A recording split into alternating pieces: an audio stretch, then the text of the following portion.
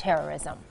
511 on today's TMJ4. There are signs from Rome that the Catholic Church could be considering allowing priests to marry. There are new hints that the idea is at least a possibility. Pope Francis, number two man at the Vatican, claims the pontiff may be willing to discuss the change.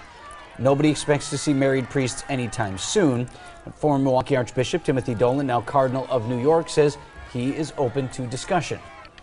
This Pope is saying, hey, we've got a gem here. Am I open to listening to people talk about it and, and wondering about how we can make it more effective? You bet. According to the Center for Applied Research, the Catholic Church has seen a significant decline in the number of priests over the last 50 years, dropping from 60,000 to 39,000. Pope Francis getting a new set of wheels.